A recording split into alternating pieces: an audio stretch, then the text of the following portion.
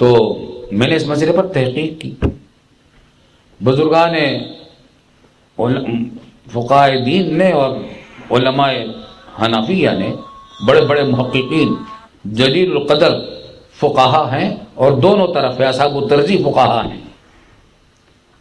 बाद हजरात ने तो कहा कि मुख्तदी अपने मसलक पर अमल करे। लेकिन बाद ने जलील कदर ने कहा है बड़े बड़े ने कहा है कि नहीं, इसमें वो इमाम किताबें होकर नमाज़ पढ़े। जो जो उसका फ़िका है, जो उसका मसलक है, उसके मुताबिक पढ़े।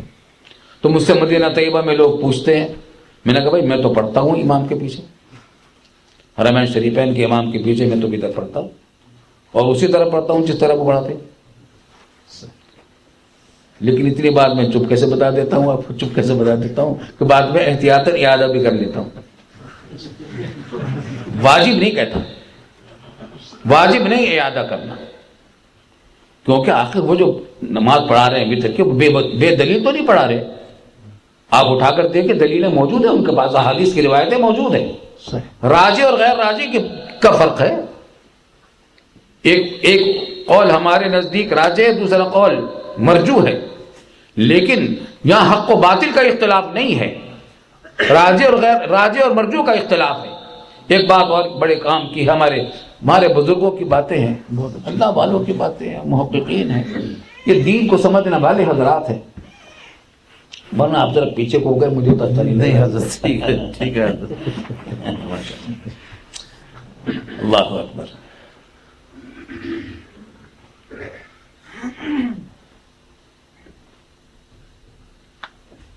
पता नहीं क्या कहने लगा था। राजे और मर्जू। हाँ।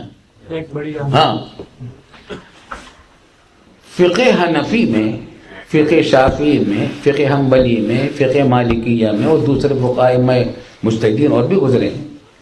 उनके दरमियान जो हमारा इख्तलाफ होता है यह हक बातिल का इख्तलाफ बिल्कुल नहीं है। राजे और मरजू का इख्तलाफ है। और राजे होना भी कती नहीं है। मरजू होना भी कती नहीं है।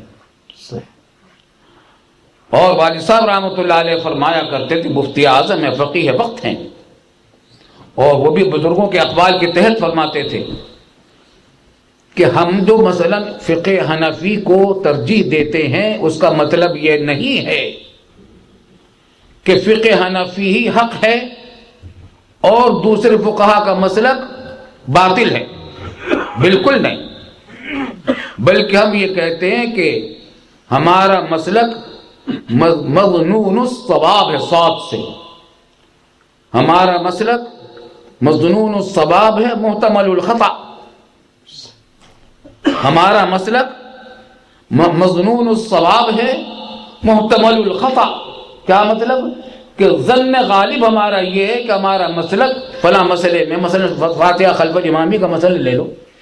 हमारा मसलक जन गालिब यह है कि यह सही है, लेकिन इसमें एहतमाल खता का भी है।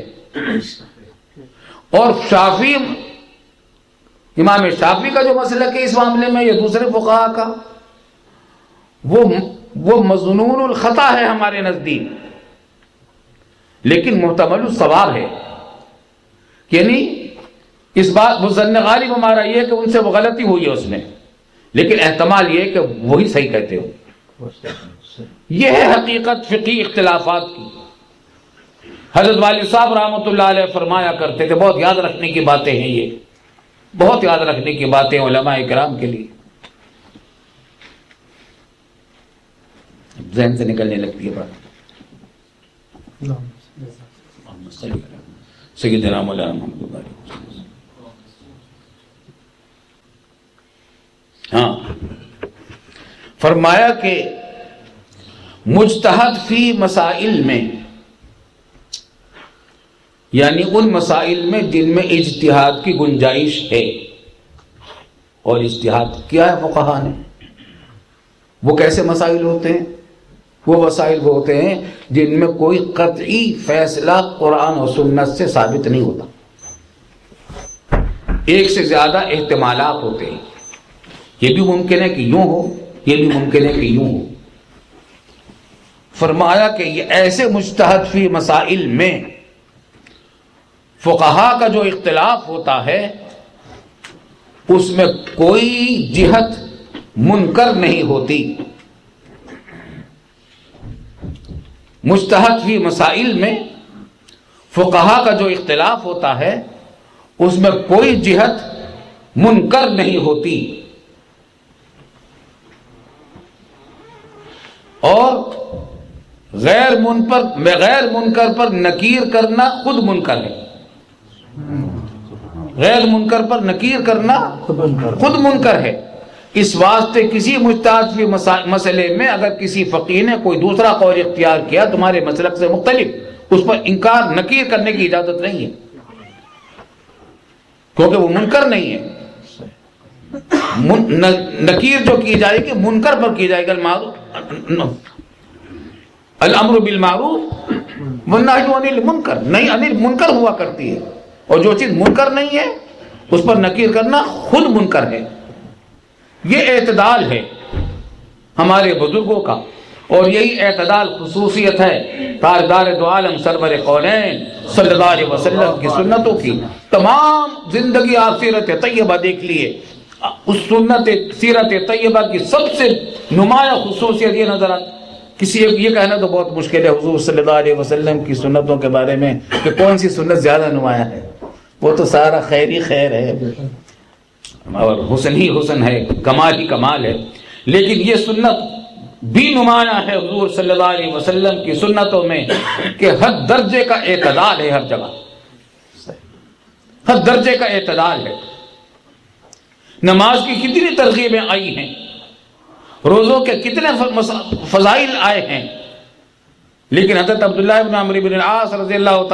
ने यह तय कर लिया था कि दिन भर रोज़ा रखा करेंगे, रात भर ताजुद पड़ा करेंगे। सख्ती से मना कर दिया आपने।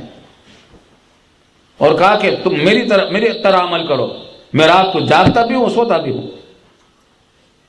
मैं रोज़े भी रखता हूँ इतार भी करता हूँ। हर अमल में अलैहि वसल्लम का आपको एतदाल नज़र आएगा। और वही एतदाल, अल्हम्दुलिल्लाह अल्हम्दुलिल्लाह, हमारे बुज़ुर्गों को विरासत में मिला है अलैहि वसल्लम। एतदाल से बाहर नहीं जाते। इश्क रसूल अपनी जगह पर है, लेकिन अमर रसूल, इश्क रसूल का भी, की भी पैरवी करनी है। अमर रसूल की भी पैरवी करनी है। वो हमारे ताजदार हैं। हमारे महबूब भी हैं, हमारे ताजदार भी हैं।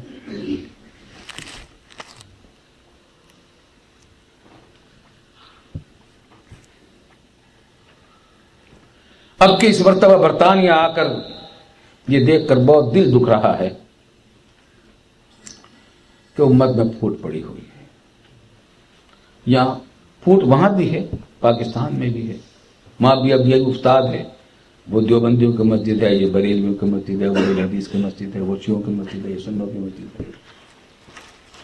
लेकिन वहाँ फिर भी ये बात है कि मुश्तरक मकासद में हर तमाम मकातब फ़िक्र के ओलमा मिलकर काम कर लेते दीनी मदारिस के सिलसिले में जितने मामला पेश आते हैं, वहाँ इतिहाद तंजीम आते मदारिस दीनिया है, उसमें विफाक देवबंदी मदारिस का विफाक भी शामिल है।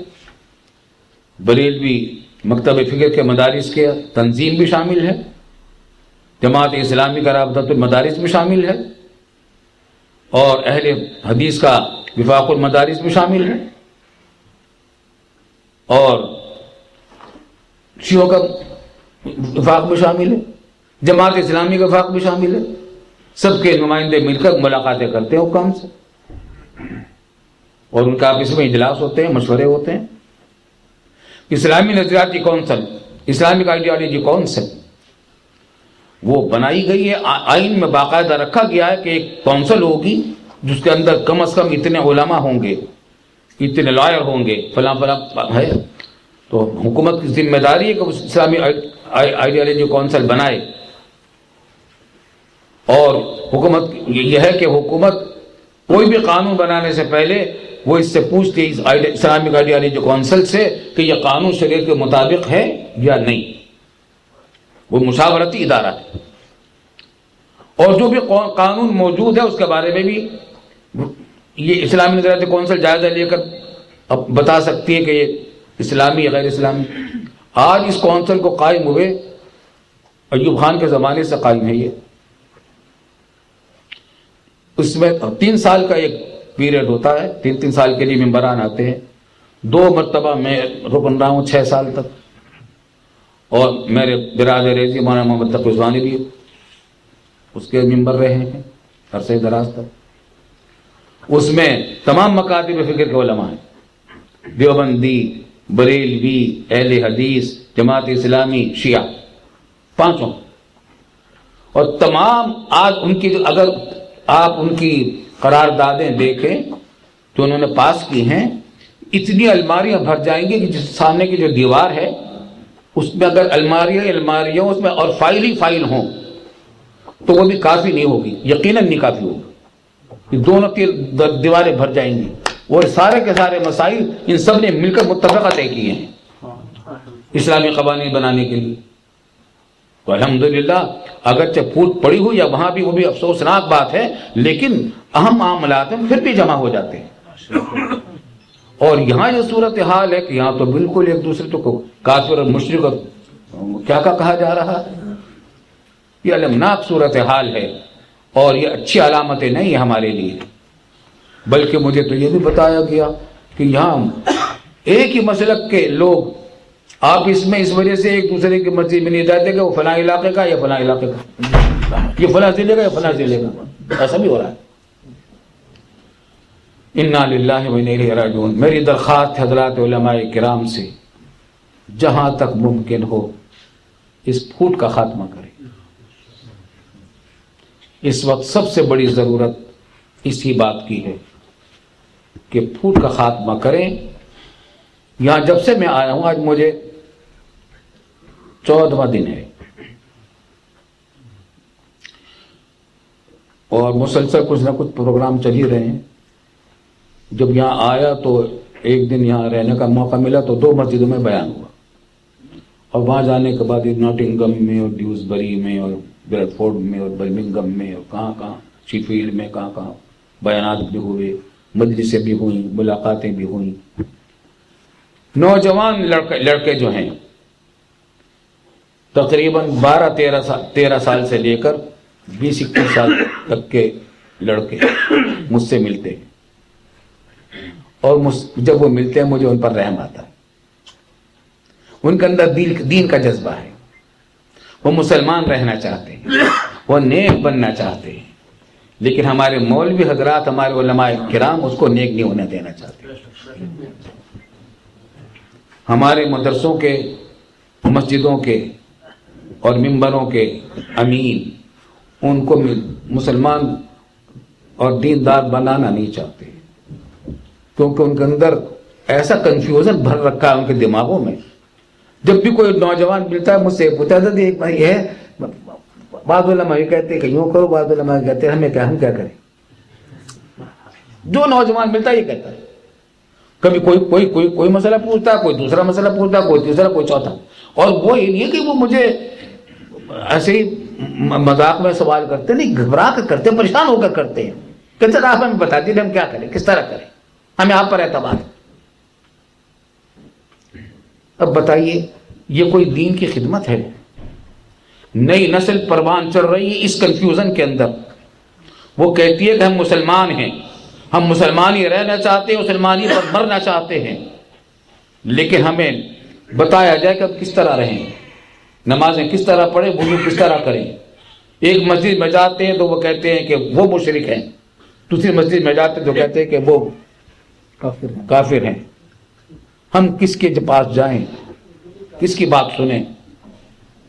खुदा के लिए मेरी दरख्वास्त है अपने हज़रत कराम से। सर जोड़ कर बैठे। इस सूरत हाल का खात्मा करें। इस सूरत हाल का खात्मा करें।